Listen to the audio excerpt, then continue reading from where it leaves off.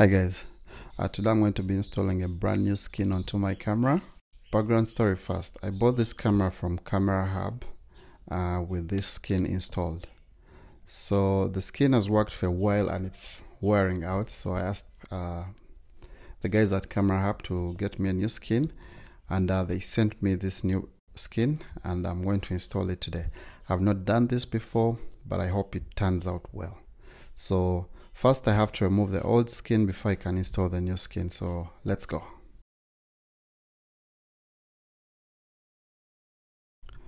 Alright, this is what it looks like without uh, skin installed. Uh, you can see the scratches and uh, that it's gotten over the years. Now let's install the brand new skin.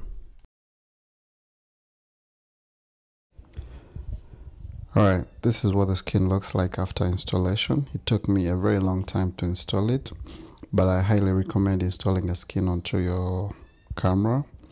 Uh, you could order for one at Camera Hub. Those guys should be able to get you one for your camera, whichever camera it is. So yeah, get out and get yourself a skin.